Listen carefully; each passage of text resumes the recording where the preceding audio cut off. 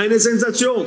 Stabach Shemulad. Heute, ihr wisst nicht, was für heute ein wichtiger Tag ist. Stabach Shemulad.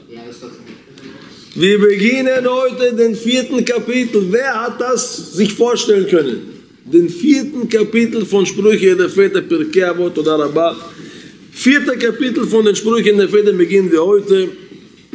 Sehr, sehr wichtig, sehr, sehr fröhlich und wir beginnen. Erster Kapitel, erste Mishnah vom vierten Kapitel Pirkei Avot Sprüche der Väter. Ich lese auf Hebräisch und dann übersetze ich auf Deutsch. זומא אומר, איזה הוא חכם? הלומד מכל אדם, שנאמר, מכל מלמדי השכלתי, כי אדמותיך שיחה לי. אוי, איזה הוא גיבור, הכובש את יצרו, שנאמר, טוב ערך אפיים מגיבור, ומושל ברוחו מלוכד עיר. איזה הוא עשיר, השמח בחלקו, שנאמר יגיע כפיך כי תאכל אשריך וטוב לך. אשריך בעולם הזה וטוב לך לעולם הבא. איזה הוא מכובד, המכבד את הבריות, שנאמר כי מכבדי אכבד ובוזי יקלו. Und ich beginne jetzt mit der Übersetzung zuerst und nachher die ganzen Erklärungen. Ben Zoma sagt, Wer ist der Weise? Antwort, derjenige, der von jedem Menschen was lernt. Denn es steht geschrieben, Miko, Teilim, Psalm 119, Mikol melamdai eskalti, von jedem meiner Lehrer lerne ich etwas, denn deine Wörter sind für mich das, was ich immer spreche. Ezu Gibor, wer ist der Starke? Hakoveshet Itzro, der seinen Trieb besiegt. Sheneemar, denn es steht geschrieben, Mishlei 16, 32. Tov Erech Apayim Migibor, gut ist Erech Apayim, der Langmütige, Migibor, von dem Starken. Und Moshel Berucho und jemand, der sich beherrschen kann, Miloked Ir, von jemandem, der eine ganze Stadt erobert. Wer ist der Reiche?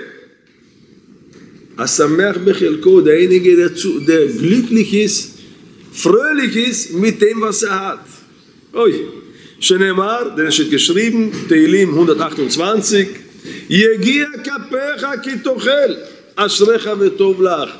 Deine Handwerke von dem, was du arbeitest, dass du isst, vetov lach, gut, glücklich bist du und gut soll es dir gehen. Glücklich bist du in dieser Welt und gut wird es dir gehen in der nächsten Welt. Wer ist der Geehrte? Derjenige, der die anderen, die Lebewesen ehrt. Denn es steht geschrieben. Diejenigen, die mich ehren, ich ehre sie.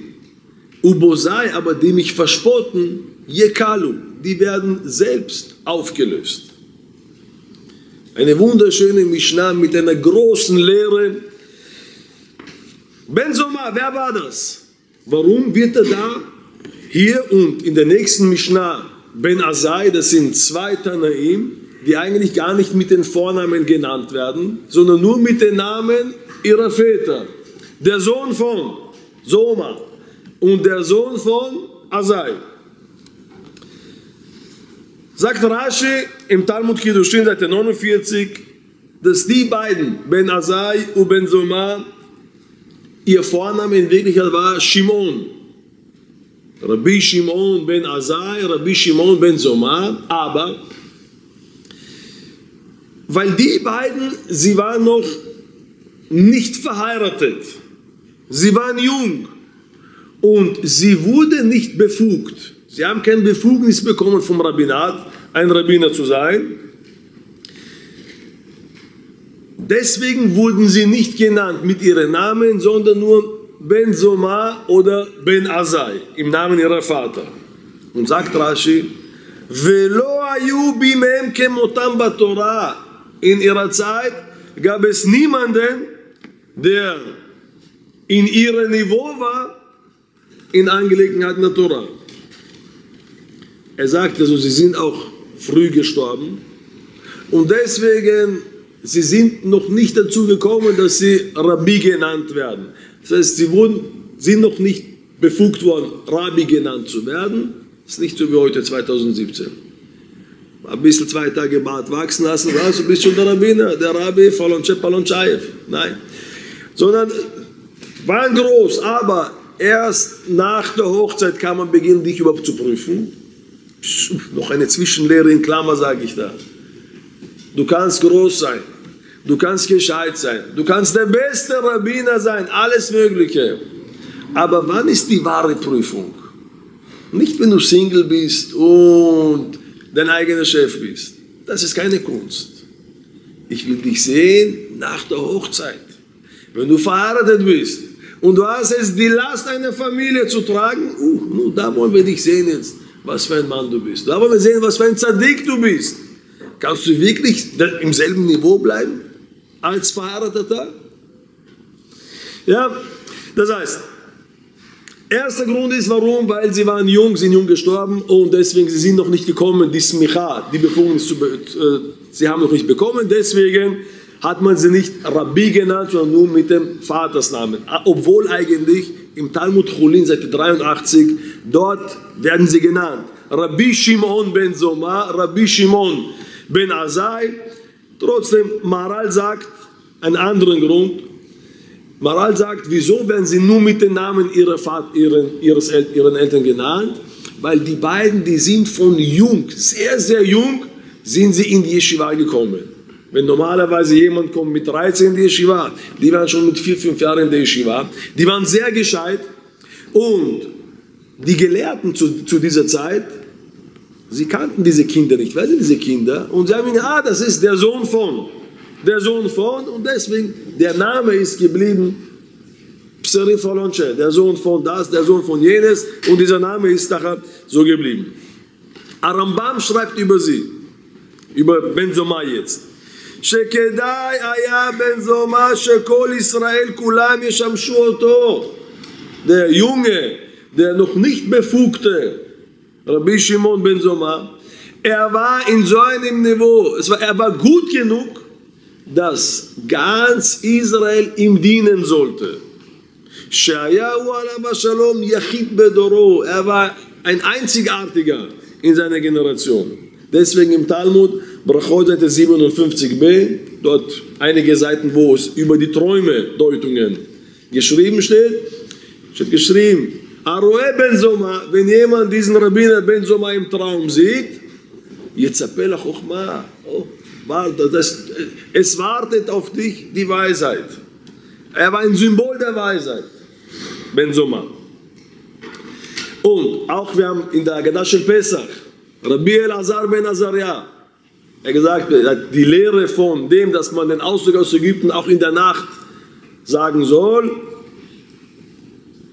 Und dann sagt er, Ache der Rasha ben Zoma ve'amar Kol yemei chayecha yemim lerabot halelot. Ja, das heißt dort noch diese zusätzliche Lehre, dass man auch am Abend erwähnen soll, den Ausdruck aus Ägypten. Rabbi Lazar ben Azariah, älterer, weiser, großer Zadik, großer Rabbiner, hat versucht, die Rabbiner zu überreden. Ja, es gibt die Lehre, dass man, man hat nicht auf ihn gehört, bis gekommen ist Ben Zoma und gesagt hat, ja, ja, lerabot halelot, dass man auch in der כל ימי חייך, ימי חייך הימים, כל ימי חייך, לרבות הלילות.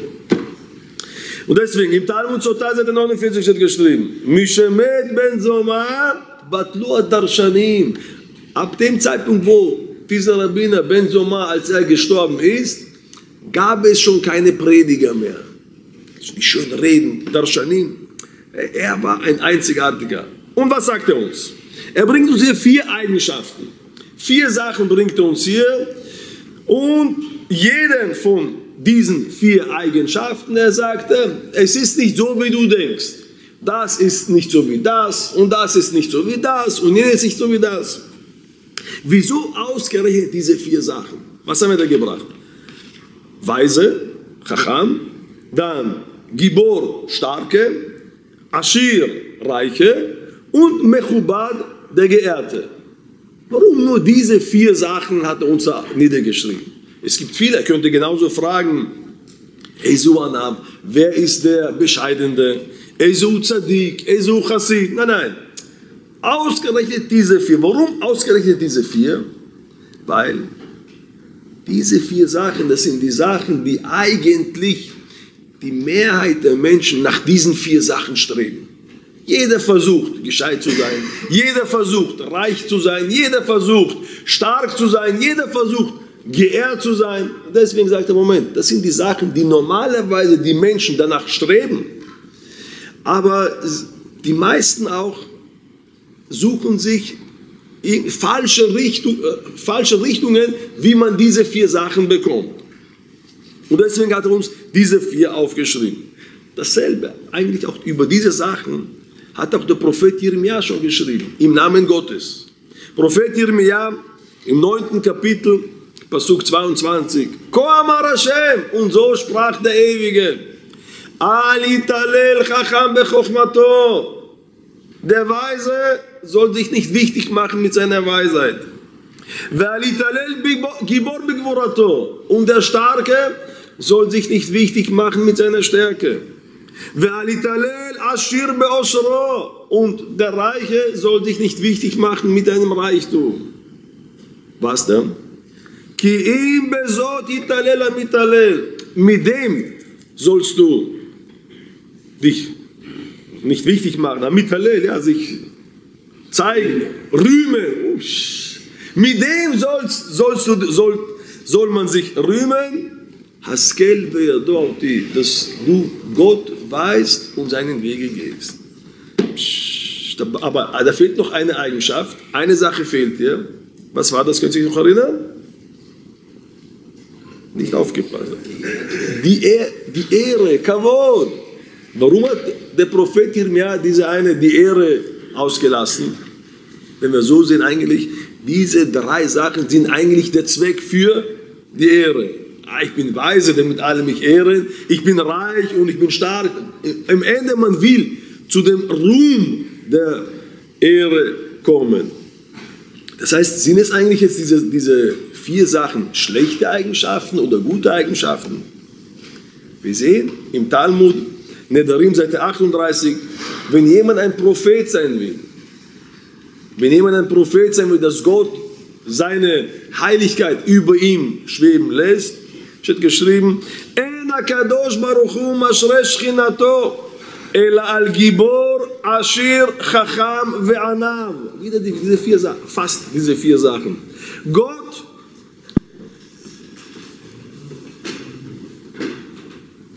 seine Göttlichkeit, Schrina, äh, legt über niemanden, sondern nur über jemanden, der ist stark, reich, weise und nicht geehrt, sondern demütig. Demütig. Das heißt, statt der Ehre hat er hier gebracht, demütig. Das ist eigentlich eins mit dem anderen. Derjenige, der demütig ist, du, willst du, dass man dich ehrt? Ein kleiner Tipp, sei demütig. Mach dich nicht wichtig. Normalerweise, die Wichtigmacher, die ich, ich, Papa, normalerweise, das sind die Leute, die jeder in seinem Inneren, in seinem Herzen verspottet. Schau den Trottel an, schau, was sich wichtig macht. Jeder normale Mensch macht sich sowieso lustig über diese, die sich wichtig machen, aber nur die spielen manchmal mit, ja, ja, du bist ein, ja. So, weiter. Warum ausgerechnet diese vier Sachen? Weil normalerweise genau diese vier Sachen sind genau umgekehrt und anders als das, was wir uns vorstellen, wie wir das bekommen. Normalerweise, wenn du fragst jemanden, wer ist der, der Starke, dann wirst du immer sagen, der Starke, jemand, der solche Muskeln hat, jemand, der aufheben kann und jemand, der einem anderen niederschlägt, das ist der Starke. Wer ist der Reiche? Nun, man sagt da, äh, heute ist Am äh, Birkat Amazon, ja? Amazon ist heute äh, der reichste Mann, ja? Birkat Amazon der Torah, die Bracha von Amazon ist ein, von der Torah. Und äh, der, reiche Mann, der so und so viele Milliarden in seinem Konto hat, Ja, wenn du fragst, wer ist der Reiche, normalerweise das ist das unsere Vorstellungen. So viele Milliarden, so viele Trill, Trilliarden. Ja, dann, wenn du sagst, wer ist der Weise, wer ist der Gescheiteste? Jemand, dem niemand was beibringen kann. Jemand, der nicht mit jedem redet, das ist der Weise. Sagt uns da genau umgekehrt. Wenn mal sagt, genau umgekehrt, wie, wie unsere Vorstellungen für diese vier Sachen sind, erklärt uns auf, dass, mein Lieber, du willst diese vier Sachen bekommen. Es gibt einen anderen Weg. Nicht so, wie du es denkst. Und wir beginnen jetzt einmal mit den Weisen. Chacham, wer ist der Weise? Als allererstes, der Weise, wichtiger Punkt.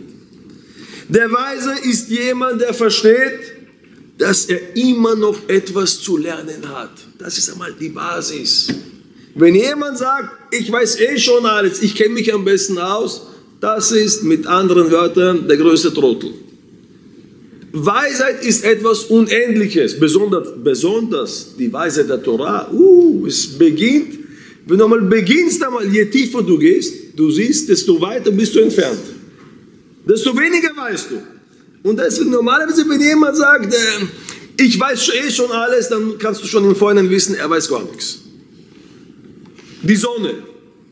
Jemand sagt, die Sonne ist so klein. Schau, ich, ich kann sie jetzt mit der Hand, kann ich sie jetzt bedecken aber in Wirklichkeit die Sonne so groß sie ist. Aber je weiter du entfernt bist, desto kleiner schaut sie aus.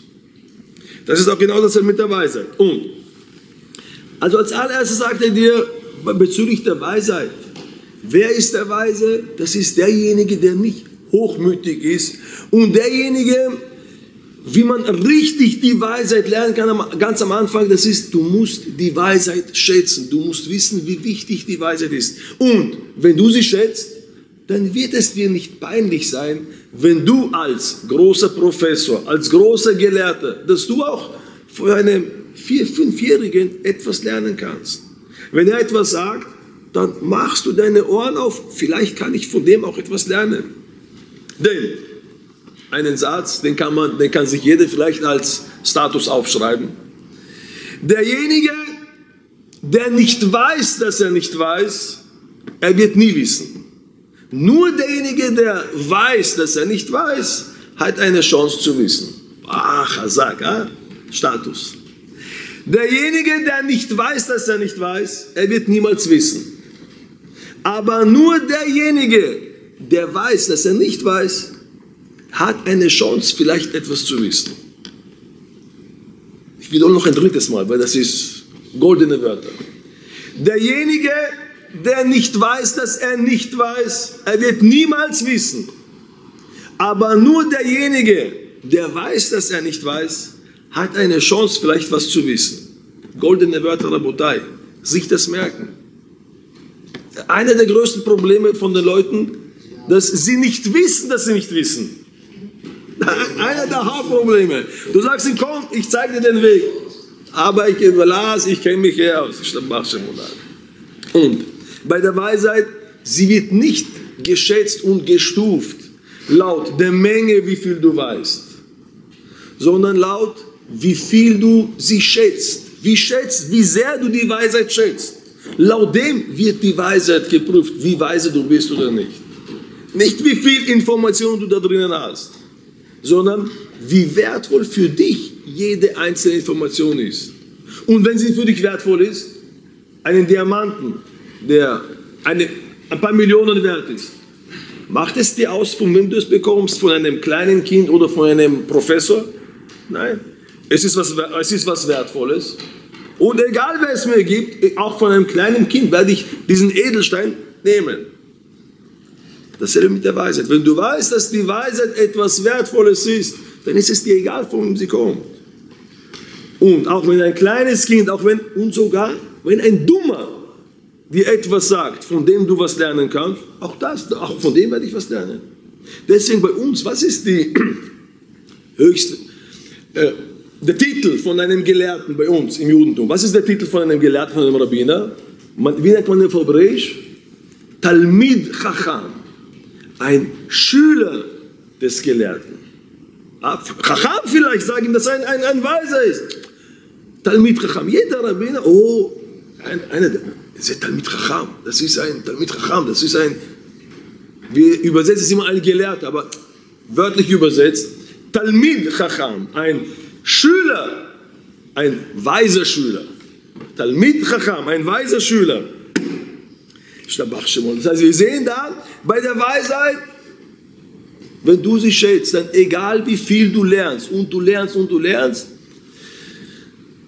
von jedem, der kommt. Von jedem, der kommt, wir haben gegeben als Beispiel sogar von kleinen Kindern. Maschela? ברוך אתה אדוני, אלוהינו מלך העולם שהכל נהיה בדברו.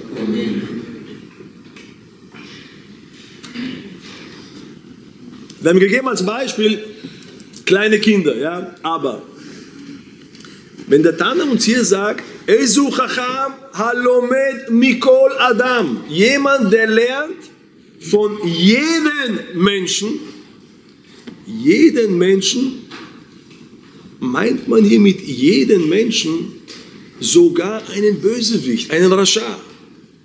Ah, was soll ich von einem Rascha lernen? Was gibt es vom Rascha zu lernen? Bösewicht. Aber es gibt im Talmud, Brachot Seite 7, da gibt es eine, da, da, werden die, da wird die Menschheit in vier Kategorien geteilt. Erste Kategorie ist Tzadik vetovlo, dann Tzadik veralo, dann Rasha vetovlo und dann Rasha veralo. Übersetzt. Erste, ein Gerechter, ein guter Mensch, Gerechter, dem es gut geht. Dann gibt es einen Guten, dem es schlecht geht. Dann gibt es einen Bösen, dem es gut geht. Und einen Bösen, dem es schlecht geht. Halomet Mikol Adam, von jedem Menschen, dass du was lernst, von jedem von diesen Arten, wenn du weise bist, dann wirst du von jedem von diesen Arten wirst du lernen. Okay, bei einem Tzadik Vetovlo das ist logisch. Einen, einen Guten, dem es gut geht, daraus lerne ich. Da kann ich lernen, uh, schau, mir geht's gut. Ich will, dass es auch mir gut geht. Einen Bösen, dem es schlecht geht, auch das ist gut. Auch daraus lerne ich was. Für mich, es zahlt sich nicht aus, böse zu sein. Einen Guten, dem es schlecht geht, ist schon ein bisschen schwieriger zu verstehen. Ah, Zadik, es geht ihm schlecht. Ist schon ein bisschen, aber da kann man sagen, ich werde daraus lernen, dass Gottes Wege verborgen sind und ich kann sie nicht verstehen. Es ist. Aber wenn du hast nachher den vierten, einen Bösen, den es gut geht, mach macht alles, das ganze Böse und es geht ihm gut. Er schwimmt im Geld, gesund, wie ein Stier, alles geht ihm gut. Aber er ist ein Bösewicht. Er macht alle Sünden, alles Schlechte, was er machen kann. Und es geht ihm trotzdem gut. Was, was soll ich da von diesen einen Chico lernen? Ah, ja, ja, ja, ja, ja, ja. Gibt es einen Midrash, den haben wir schon mehrere Mal erzählt, über Yosef ben Yoezer. Yosef ben Yoezer war ein großer Tzaddik. Er war ein großer Tzaddik, er war der Messias Sanhedrin, der Oberrabbiner. Und er war in der Zeit noch von den Paaren so gut, wo die ersten Tanaim. Ja. Zu dieser Zeit war es verboten, ein Verbot der Regierung, man durfte nicht Torah lernen. Und er, großer Zadik, großer Rav, er wird sich von denen was schreiben, äh, Verbot, nicht verboten, Torah muss man weiter lernen. So wie Talmud, Brachot Seite 60 mit Rabbi Akiva, Papus ben Yehuda. Papus war auch ein Verbot und er sagt ihm, du Rabbi Akiva, es ist verboten, Torah zu lehren. Und du nimmst Sefer Torah und gehst überall und lernst Torah. Sagt ihm Rabbi Akiva diesen Papus, sagt ihm Papus, Papus. Über dich sagt man, dass, dass du ein großer, weiser, gescheiter Mann bist. Im ein Beispiel, für was es gleicht. Es gab einen Fuchs, Schual, der am Ufer gegangen ist. Da, der Donau geht am Ufer vorbei und er sieht ins, in, ins Wasser, er sieht dort Fische schwimmen hin und her. Er fragt sie, was schwimmt sie da? Was ist die Panik? Was ist los? Oh, wir haben Angst. Vor was habt ihr Angst? Die Menschen, die bringen Neste, Netze, Entschuldigung, die bringen Netze und mit diesen Netzen, sie fangen uns um und nachher machen sie uns Jizbis. Sagt er, oh, ich habe für euch einen guten Vorschlag. Was haltet ihr davon, wenn ihr jetzt rauskommt vom Meer und wir werden gemeinsam leben, wir machen einen Friedensprozess, ja? Ein Friedensprozess und so wie unsere Eltern gemeinsam gelebt haben, wenn wir gemeinsam leben, was halten sie davon?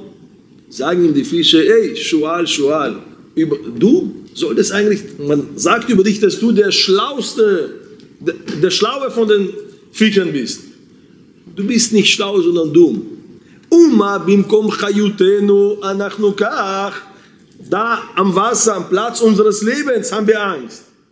Außerhalb des Wassers, wir sind nicht mehr im Platz unseres Lebens. Umso mehr, dass wir Angst haben sollten, sagt Rabbi Akiva. Mit der Torah gibt es solche Beschlüsse über uns, man will uns töten, verboten, derjenige der Torah. Gibt es diese schrecklichen Sachen. Mit der Torah ist es schon sowieso schlimm. Du willst ohne der Torah, das heißt, du, du willst uns von unserem Sauerstoff, von unserem Leben, willst du uns entfernen, dann wird es noch schlimmer sein. Das war mit Rabbi gesagt. In äh, Yosef ben Yoizer. Er, man hat ihn erwischt, dass er, dass er Torah gelehrt hat, er hat große Schurim gemacht, man hat das aufgenommen, live übertragen hat man diese Schurim und plötzlich kommen nachher Soldaten, hallo, du hast eine große Sünde begangen und deswegen Hinrichtung. Man nimmt ihn, fesselt ihn zusammen auf einem Pferd und auf dem Weg zur Hinrichtung. Auf dem Weg kommt sein Neffe. Jakum Istrolot. Sein Neffe war Bösewicht. Er war jemand schon, der mit dem Feind gearbeitet hat und er, er war jemand, der, äh, wie sagt man das im Hebräisch, Stinker. Ja? Jemand, der seine Brüder immer gesagt hat, okay, dort lernt man Torah, da. Petzen, ja, aber Stinker ist mir lauter Assistent, Stinker. Also, er war jemand, der verraten hat seine Brüder, ein Verräter. Ein Verräter und er, weil er ein Verräter war, er hat die Leute verraten, überall wo was gemacht wird. Deswegen von der Regierung hat er bekommen ein Pferd, so wie heute die, er bekommt ein Pferd und er trifft seinen Onkel auf dem Weg zur Hinrichtung. Er sitzt auf seinem edlen Pferd und er sieht seinen Onkel gefesselt auf einem anderen Pferd. Sagte ihm, Rebbe, schau, ich reite auf einem Pferd und du reitest auf einem Pferd, zu seinem Onkel. Schau, was für ein Pferd mir mein Herr gegeben hat. Luxuspferd, ja, SL 600 oder irgend sowas. Was für ein äh, Esel, was für ein Pferd mir mein Herr gegeben hat. Und schau, was für ein Pferd dir dein Herr gegeben hat. Er wollte sich ein bisschen lustig machen über ihn. Schau, dein Gott, was für ein Pferd, du wirst hingerichtet und ich habe meine Chicos und sie zahlen mir noch Geld dafür. Sagte ihm, Im lemach isav kach, für diejenigen, die Gott ärgern, die bekommen so ein Pferd. Sie werden so belohnt hier auf dieser Welt. Diejenigen, die Gottes Wege gehen, umso mehr, was für eine große Belohnung auf sie wartet. Und dann sagt er ihm, aber du hast so viel Torah gemacht. Du hast so viel Torah gelernt. Du bist ein Zadik. Und du bekommst nachher so eine Strafe, sagt er. Wenn jemand, der seinem Wege geht und vielleicht da und dort ein bisschen irgendeine kleine Fehler gemacht hat, bekommt er so eine Strafe. Diejenigen, in Klammer sagt er, so wie du, die nicht seinen Wege gehen, uh, was für eine Strafe nachher auf dich wartet. Uh, er hat es gesehen, von beiden Seiten Knockout hat er bekommen und diese Sachen sind geschrieben, sind eingedrungen in ihm, wie ein Gift einer Schlange, ganz gebrannt in ihm. Er hat gemacht nachher Tshuva und Selbstmord, was man nicht machen darf, ja, dass niemand auf falsche Gedanken kommt. Er hat Tshuva gemacht, Selbstmord gemacht und eine Stimme von ihm ist gekommen und hat gesagt, Yakum Ishsorot Mezuman Lech Olam Ba. Komm, er hat einen Teil in Olam Ba, ins Paradies bekommen. Das, was er, er hat es unbewusst gemacht, mit Tshuva, vier Arba Mitot Bedin, die vier Todesarten, hat er sich selbst gemacht als Wiedergutmachung. Heute darf man das nicht machen. Ich betone noch einmal, dass niemand auf falsche Gedanken kommt. Mara sagt uns, dass er, der Midrash, dass er nachher gekommen ist ins Paradies, noch vor seinem Onkel Yosef ben Yochanan, Yosef ben Yoezer. Das heißt, du siehst da von, auch von den beiden, auch von Sadiq Veralo, Verasha Betovlo, auch von denen kann man etwas lernen. Aber außerdem, in der Torah steht geschrieben über Jakob Avinu. Oi, über Jakob Avinu. Jakob Avinu war bei seinem Schwiegervater. Wie war sein Schwiegervater? Unser Großvater. Ist unangenehm, über einen Großvater zu reden, aber Lavan, Lavan, das war Schwiegervater von Jakob, und er hat ihm reingelegt, hin und her und dort. Er hat ein schweres Leben dort gehabt.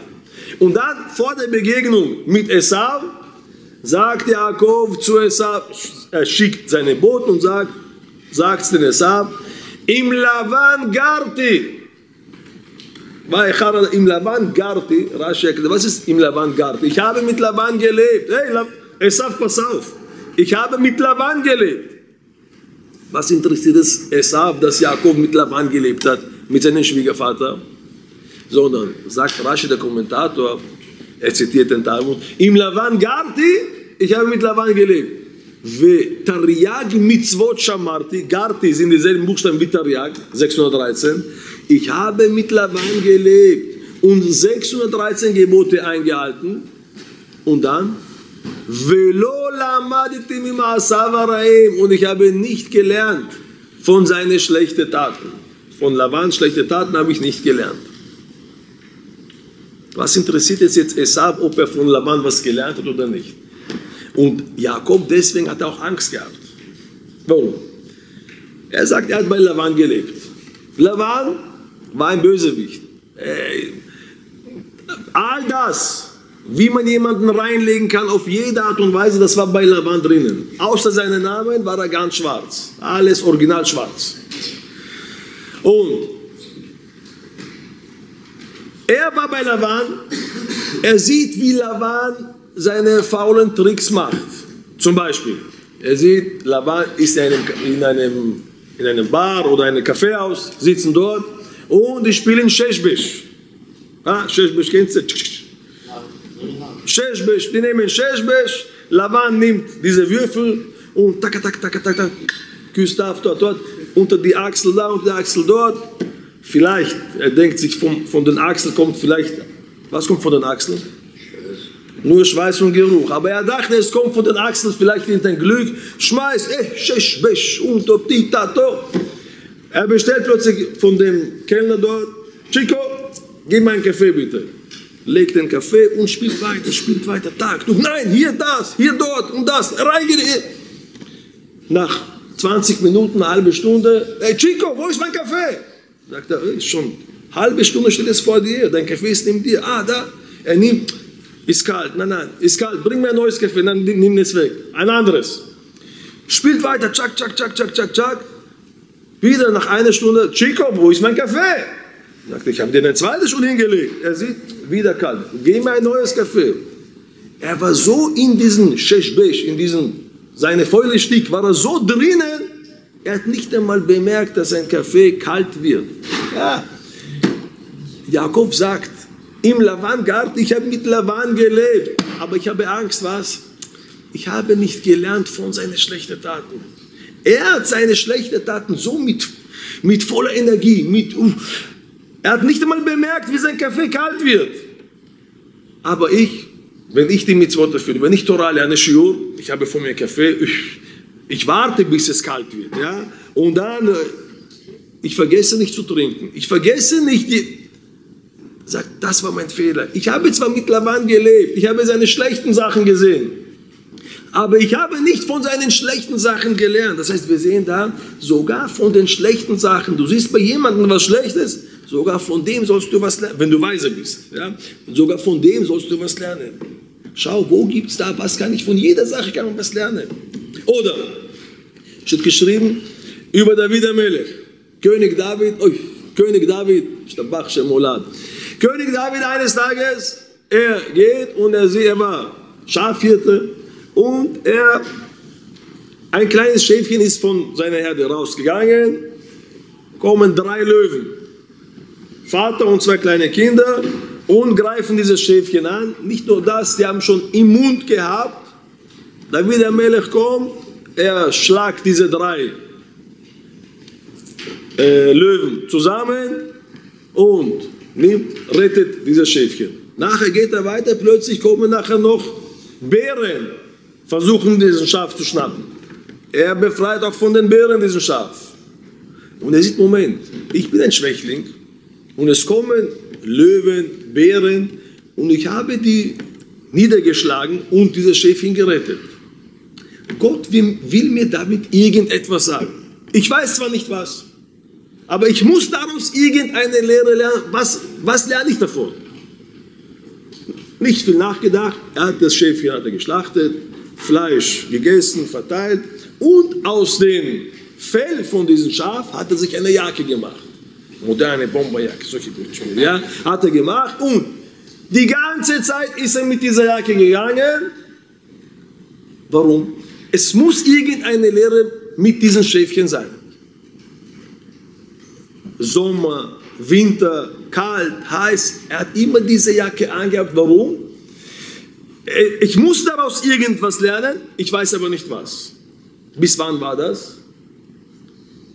Bis Goliath. Goliath kommt, der große Goliath. Wie groß war er? Sechs Ellen groß. Shesh Amat. Was ist Shesh Amat? Amut Chashmal. Sechs Ellen sind drei Meter groß. Goliath, voll gepanzert, ganz groß, kommt. David der Katan, der kleine David, sieht das und. Er sagt zum König Shaul, König, ich gehe, ich mache ihn fertig. Wer, wer ist dieser Hund? Diesen Hund werde ich auch fertig machen Sagt ihm König Shaul, pass auf, du, du bist so ein kleiner und der ist so ein großer. Passt nicht, du, du wirst es nicht schaffen. Sagt ihm, ich werde es schaffen. Dann sagt er ihm, er, er erzählt ihm, ich war Schafhirten und dann, ויקח זה מן העדר. Se, ויקח se מן העדר, es ist gekommen ein Löwe und er hat genommen se. Was ist ein se? Se ist ein Schaf. Er sagt, er ist gekommen und hat ein Schaf genommen von der Herde und ich habe die Löwen, ich habe die Bären fertig gemacht und dieser Hund wird genauso enden wie sie. Das ist das, was geschrieben steht. Aber es steht statt se steht in der Torah geschrieben Se. Ja? Beim Navi. Im Buch Shmuel steht geschrieben statt Se steht geschrieben Se. Und das ist ein Kri und Ktiv. Wir haben sehr viel in der Torah. Es wird so geschrieben, aber so gelesen. Das ist einer der Punkte. Kri und Ktiv. Es wird zwar geschrieben Se, aber gelesen, äh, Entschuldigung, Se, aber gelesen Se. Was sagt er? Vaisa Se minaeder. Se er zeigt auf diese Jacke, er sagt, siehst du diese Jacke? Die, die Löwen wollten das, diesen Schäfchen wollten sie nehmen. Und ich habe, sie, ich habe das Schäfchen befreit und deswegen war das immer an mir. Warum? Weil ich musste daraus etwas lernen. Und das ist die Lehre, die Lehre ist jetzt gekommen. Die Lehre ist jetzt gekommen, dass ich habe jetzt gelernt, warum Gott mir diese Löwen und diesen Berg geschickt hat. Warum? Damit ich daraus lernen kann, dass ich sogar diesen Goliath noch fertig machen kann. Oder Mordechai und Esther. Esther, Tzadeke, Tzadika. Und sie wird genommen von Achashverosh. Achashverosh, der König Achashverosh, sie wird genommen, Purim, ja. Sie wird genommen von Achashverosh und Mordechai. Und Mordechai mitalech bachazar bet anashim. Mordechai, er geht spazieren die ganze Zeit in Chazar Bet Anashim, dort wo die Frauen des Königs sind. Harlem, ja? Nicht Harlem. Harem, Slicha. In Harem, von den, wo die Frauen vom König sind. Und dort Mordechai, Azadik, der große Rabbiner, der große, wo, wo spaziert er dort? Harem, ja, dort wo die Frauen sind. Ah, wo der Rab, passt nicht. Der große Rabbiner mit den langen Bart, dort wo die Frauen sind, ah, die Leute können nachher reden. Was macht er dort? Aber Mordechai sagt, Moment, ich kenne Esther. Ich weiß, sie ist eine Zadeke, sie ist eine, eine sehr weise Zadika, die hat keine Sünden. Wie kann es sein, dass sie von so einem Tameh, unreinen Goy, von einem Achashverosh wird sie genommen? Da muss irgendwas dahinter stecken. Nicht umsonst ist sie hier. Und deswegen Mordechai geht hin und her. Jeden Tag ist er dort in diesem Beit Hanashim. In diesem, warum? Um zu sehen, was passiert. Etschlom Esther, Uma Aseba. Ladat et Schlomester, wissen, wie es Esther geht, und Umaya Seba, was wird mit ihr geschehen? Das heißt, es, es muss mit ihr irgendetwas geschehen, nicht umsonst ist sie hier. Diese reine Frau in diesem unreinen Platz, nicht umsonst ist sie hier. Es hat einen Grund, ich weiß es nicht. Deswegen geht er hin, um zu sehen. Bis nachher plötzlich, er hört, wie man Achashverosh stöhnt und dann sagt er, jetzt, jetzt ist die Zeit. Wer weiß, ob du nur deswegen dahergekommen bist. Geh jetzt zum König und bitte um dein Volk. Auch da, Mordechai hat etwas gesehen und die Lehre daraus gelernt. Aber gleich, nicht gleich am Anfang. Er hat dort gewartet, geblieben. Warum? Ich muss daraus irgendwas lernen. Das bedeutet, du siehst sogar von Sachen, okay, es ist schon passiert. Aber jede Sache, die passiert, jede Sache, die du vor deinen Augen jetzt hast, ist eine indirekte Lehre von dir. Nur du musst der, der Chacham, der Gescheite, der Weise sein, um zu wissen, was lerne ich daraus. Warum hat Gott mir jetzt genau dieses Bild da vor mir gebracht? Aber Ischai sagt noch etwas. Er sagt, Ezu Chacham alomed mikol Adam. Wer ist der Weise? Der, der lernt von jedem Menschen. Ja, was ist Adam? Adam sind die Buchstaben Aleph, Dalet, Mem. Aleph, Dalet, Mem, er, über den Pasuk. Adam, ki akriv mikem, der Mensch soll ein Opfer darbringen, im Buch Vayikra. Dort schreibt der Ben Ischai, er zitiert den Talmud, Sota Seite 5. Dort der, der Talmud sagt, der Mensch soll nicht hochmütig sein. Gaba passt zu niemandem. Womit machst du dich wichtig? Warum? Der Mensch als Mensch, Adam. Was sind die Anfangsbuchstaben von Adam? Adam, Efer, Dam, Mara. Das heißt, Efer ist Staub. Dam, Blut.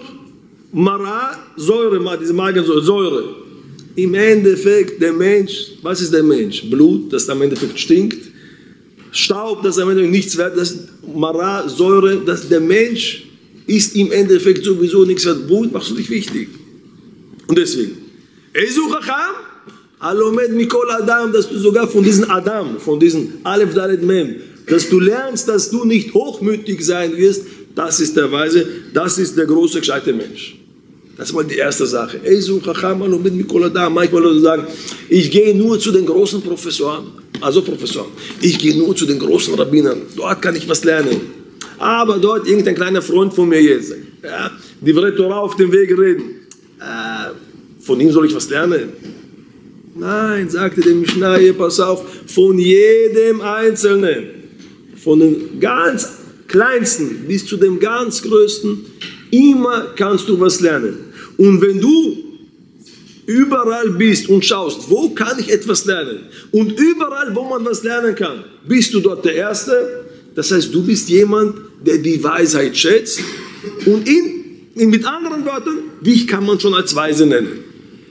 Aber wenn jemand, äh, heute gibt es Champions League, heute gibt es das und nicht immer kann er kommen und bei jeder kleinen Gelegenheit äh, schaut er, dass er irgendwie abweicht. Oder wenn er schon da ist, dann schaut er, was gibt es Neues im Handy oder was sagt mein Nachbar darüber oder, oder das, pratscht hin und her. Oh, das ist nicht gut. Das zeigt nur, dass du die Weisheit nicht genug schätzt. Es zeigt, dass du, Moment, mit dann noch ein zusätzliches Wort, kann ich vielleicht noch was Weises lernen. Nächster Punkt. Haben wir gesagt, Ezu Chacham alomet mikol Adam. Haben wir das verstanden? Ich hoffe schon. Ezu Gibor. Wer ist der Starke? Nun, wer, wer ist der Starke? Kann man denken, vielleicht jemand mit 10 Kilo Muskeln, jemand, der aufheben kann. Ja. Herkules. Ja. Das ist das, was wir im Alltag so denken, die, die, das sind die starken Leute, jemand, der mit einem Schlag jemanden niederschlagen kann und so weiter und so fort. Aber sagt uns da, Moment, das ist ein Fehler. Nicht derjenige, der jeden anderen besiegen kann. Nicht das ist der Starke. Stell dir vor, jetzt, du hast einen Herkules. Ja? Und er kommt und schlägt einen Sechsjährigen nieder. Kannst du ihn stark nennen? Idiot, was, wie sollst du nennen? Du legst dich mit einem kleinen Kind an. Du, der Große, mit so einem kleinen Schwächling würde man ihn nennen. Ja? Das heißt, das ist nicht der Starke. Was ist denn der Starke? Jemand, der einen anderen besitzt? Nein, sagt uns da ganz umgekehrt, sondern derjenige, nicht die anderen. Derjenige, der sich selbst besiegen kann. Der jemand, der über sich selbst herrscht. Oi, das ist der Starke. Warum?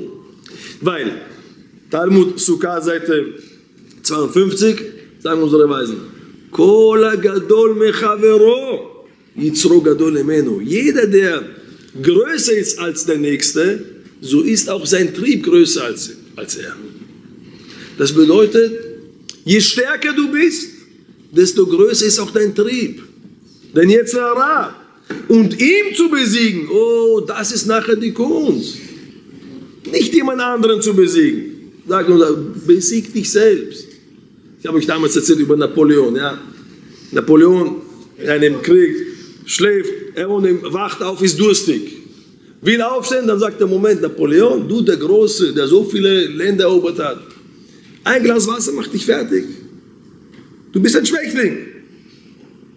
Und dann sagt er, Moment, aber es ist kalt. Vielleicht ist es deswegen, weil es kalt ist. Und nur weil ich faul bin, um aufzustehen, sage ich das. Gibt es manchmal diese Hochmologie, ja?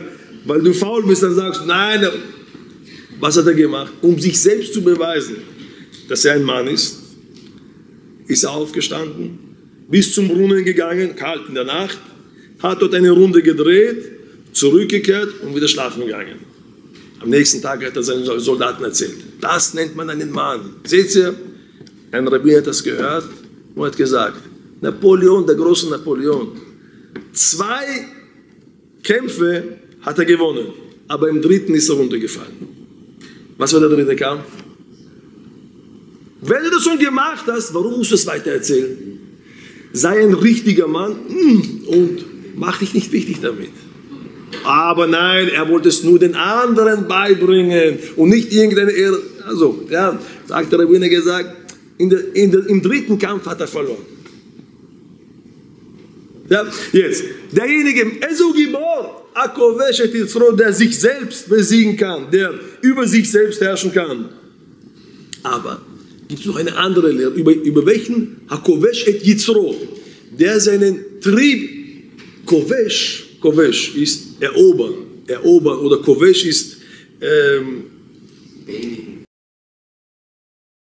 nicht bändigen, sondern bedecken, Kovesh. Erobern, ja. Es gibt manche, die meinen, was, über welchen Jetzer, über welchen Trieb reden wir da? Steht nicht geschrieben, welcher Jetzer. Jetzer Tom oder Jetzer? Jeder von uns versteht, wer ist der Starke, der seinen bösen Trieb besiegen kann. Das ist das, was die einfache Erklärung. Es steht zwar aber nicht geschrieben, welcher Trieb. Man könnte aber auch lernen, Esu Gibor Hakoveshet. Wer ist der Starke? Das ist wieder, passt zu der Napoleon-Geschichte. Der seinen guten Trieb erobern kann. Das heißt, du hast mit dem guten Trieb irgendeine gute Mitzvah gemacht, gute Tat. Wer ist der Starke? Der den guten Trieb verstecken kann, nicht wichtig machen. Ich habe das gemacht. Den guten Trieb, die guten Sachen, sie zu verbergen. Das ist der Starke, das ist eine andere Erklärung. Aber wir bleiben noch bei dem schlechten Trieb, ja? bei den Yetzirara. Es steht nicht geschrieben, der vernichtet seinen Trieb, der tötet seinen Trieb. Das steht nicht geschrieben. Sondern Hakovesh et Yitzro. Kovesh, das heißt, er lässt ihn, er lässt ihn sein. Er lässt ihn, aber nur, er herrscht über ihn. Denn Jetzer, was ist der Jetzer? Der Trieb, auf Deutsch Trieb wiederum, die Übersetzungen ist ein bisschen schwer, aber Jetzer, Trieb, das kommt vom Wort Yetzira. Yetzira, erschaffen, machen. Und ohne den Jetzer gibt es auch keine Yetzira. Das heißt, ohne den Trieb, der Trieb eigentlich, der Yetzira, ist es was Gutes oder was Schlechtes? der Midrash, den wir schon tausendmal schon zitiert haben, sehr gut. Ze Yetzer Tov, Tov Meod, Yetzer Ra, sehr gut ist der Yetzer Ra. Warum sehr gut? Yetzer vom Wort Yetzira, machen, erschaffen. Denn dank diesen Yetzer, dank dem bösen Trieb, den wir haben, die Eifersucht und hin und her, dank dem, dank dem Yetzer, bauen Leute Häuser, heiraten Leute, bauen die Welt auf. Die Welt wird aufgebaut dank diesen Yetzirah. Ohne den bösen Trieb, jeder, jeder hätte gelebt im Dschungel mit seinen, wäre alles schön in Ordnung. Aber da, er ist gut, ich will besser sein und ich will noch, und genau diese Jetzer kommt vom Wort Yetzirah, das heißt, der Jetzer, der böse Trieb, ist doch etwas Gutes, ist doch etwas, was die Welt braucht. Der Talmud erzählt, Sota Seite 69b, in, de, in der Zeit von Ezra, Ezra Sofer. Am Israel wollten den bösen Trieb von dem Götzendienst wollten sie abschaffen. Bösen Trieb vom Götzendienst. Damals die Leute, sie waren süchtig nach dem Götzendienst. Es gab einen Trieb, Yetzara, Götzen zu dienen. Er sieht irgendwo irgendwas, oh, das muss ich dienen und, oh, und ja. Das heißt, es gab einen speziellen Yetzara und man hat gesehen, das geht nicht mehr so weiter. Die Leute, die waren schon verrückt nach Yetzara. Was haben sie gemacht? Sie haben gebetet, gefastet und haben mit den Gebeten haben den Yetzerara von dem Götzendienst abgeschaffen. Gibt es heute jemanden, der den Drang hat, Götzen zu dienen? Gibt es nicht. Warum? Seit dem Zeitpunkt, die haben das abgeschafft. Die haben gesehen, oh, wir haben jetzt ein gutes Momentum, die Tore sind offen, es gibt noch einen anderen Yetzara, den bösen Trieb von Arayot, das heißt die äh, verbotenen intime Beziehungen. Yetzara mit den Augen, mit dem Angreifen und so weiter etc. Starken Yetzara, vielleicht werden wir auch diesen Yetzara vernichten ist gekommen Zechariah Navi, der Prophet Zechariah, sagt ihm, macht's das nicht. Ohne dem kann die Welt nicht existieren. Diesen Jetzer, den braucht man, den braucht die Welt. Wenn ihr wollt, nehmt ihn als Geisel, nehmt ihn gefangen und schaut, wie die Welt nachher ausschauen wird. Man hat ihn genommen, diesen Jetzer, das heißt spirituell, man hat diesen Trieb von dem Arayot hat man genommen und äh, äh, gebunden, für drei Tage geschlossen. Es gab kein Yetzirah. Kein Mann ist zu seiner Frau gekommen und nicht nur die, die Menschen, sondern auch die Tiere. Und man hat gesucht im ganzen Land ein frisches Ei von einem Hahn nicht gefunden. Gibt es keinen Hahn? Das, das, das, gibt es keine Eier? Das heißt, es gibt keine Fortpflanzung, es gibt kein, kein, die, kein Leben mehr Deswegen, wir müssen ihn wieder freilassen, diesen Yetzirah. Aber bevor sie ihn freigelassen haben, sie haben ihn ein Auge niedergestochen, haben gesagt, dass er ein bisschen zumindest das äh, schielt ein bisschen und uns ein bisschen in Ruhe lässt. Und damit haben sie gemacht, dass der Mensch nicht mehr den Drang hat an seine Familienangehörige. Normalerweise damals, das war so stark, dass sogar das drinnen war. Ja, heute, leider Gottes, wir hören in den Nachrichten, dass auch das schon nicht, nicht tief genug gemacht wurde, Fritzl und so weiter, Das heißt, wir sehen, Yetzerara ist was Gutes. Yetzerara ist was Gutes, den brauchen wir den Yetzerara. Ohne den Yetzerara gibt es, die Welt kann nicht existieren. Und deswegen, Yetzerara brauchen wir. Sagt uns der Midrash. Vechi Yetzerara tov meod, du sagst, es. der tov meod ist? Ela, sheilule Yetzerara, ohne Yetzerara, lo adam bait, der Mensch wird kein Haus bauen. Und keine Frau heiraten, keine Kinder bringen und keine Geschäfte machen. Wieso? Für was? Er hat keinen bösen Trieb, braucht er nicht. Und deswegen, und die Welt braucht auch den bösen Trieb. Darum, wir sagen auch in Schmeißrei, wie sagen wir das? Du sollst Gott lieben mit deinem ganzen Herzen. Levavecha, eigentlich im Hebräischen, Libcha, deinem Herzen, Libcha mit einem Bett. Warum Levavecha zwei Bett? Sagen unsere Weisen, Talmud Brachot, Seite 54. Levavecha, Bechol Levavecha, Bishnei Yetzarecha. Mit beide Triebe, sowohl mit den guten als auch mit dem bösen Trieb sollst du Gott dienen. Mit dem guten Trieb, ich verstehe, mit dem bösen Trieb wie? So wie wir gesagt haben. Auch mit dem bösen Trieb, auch von dem sollst du was lernen und auch mit dem sollst du Gott dienen. Das ist das, was die, der Talmud Baba Batra 21 sagt. Kin Azofren, Tarbe. Die Eifersucht der Gelehrten, sie bringt mehr Weisheit. Warum? Er hat ein Buch geschrieben. Oh, ich werde auch ein Buch schreiben. Er kommt schon zum Schul zweimal in der Woche. Bin ich schlechter wie er? Ich werde auch kommen zweimal in der Woche. Uh, er ist schon beim Rabbinatskurs. Ich, ich werde auch versuchen, ihm einzuholen. Und jeder, wenn, weil du siehst, wie gut der andere ist, das ist eine gute Eifersucht. Das ist, man nennt es heute die weiße Eifersucht. Ja. Das ist gut. Ja. Das ist etwas Gutes. Du lernst von den anderen, du, willst auch so sein, so wie er. Das ist etwas Gutes. Und nicht so wie in den anderen Religionen, wo, wo sie sagen, du sollst von der Welt nicht genießen, der böse Trieb, all das ist Böses. Nein, wir sagen das genau das Gegenteil. Sowohl der gute als auch der böse Trieb, den brauchen, wir brauchen beide. Und wir nutzen nur beide aus zu unserem Gottesdienst. Denn der Talmud sagt uns, Kiddushin 54, Lo nitna Torah die Torah hat Gott gegeben, nicht den Engel, sondern den Menschen, damit die Menschen diese Torah erfüllen können. Und als Beweis dafür sagt uns, damit, damit werden wir beenden, Shenemar, Tov, Umoshel berucho milochet ir. Tov erech apayim, der Langmütige ist besser als der Starke. Und derjenige, der über sich selbst herrscht, ist besser als jemand, der eine Stadt erobert hat.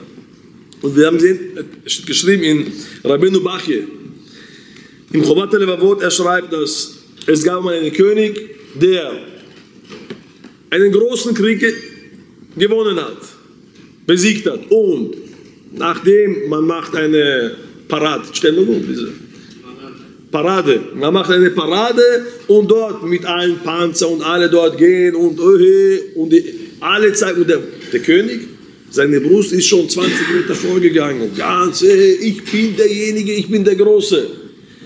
Ein alter weiser Mensch sagt ihm, lieber König, Sie haben zwar jetzt den einfachen Krieg besiegt, aber der große Kampf steht noch vor Ihnen. Welcher große Kampf? Diese Stadt haben Sie besiegt, eine sehr starke Stadt. Das ist noch ein kleiner Krieg gegenüber dem, jetzt, ob Sie jetzt hochmütig sind, oder sie sagen, ja, das Gott hat mir geholfen oder ob sie über sich selbst auch herrschen können. Jemand anderen besiegen ist einfacher, aber dich selbst zu besiegen, das ist die, die schwierige Sache. Und das, Gott soll uns helfen, jeden einzelnen von uns, dass wir stark genug sind, um uns selbst zu besiegen, um unseren Trieb zum Gottesdienst zu lenken, dass wir den Jetzera nicht vernichten, dass wir den Yetzirah nehmen, sowohl Yetzirah als auch Yetzirah Tov, und mit ihm nachher Gott dienen werden. Baruch Adonai Olam, Amen, Amen, Rabbi Chananya ben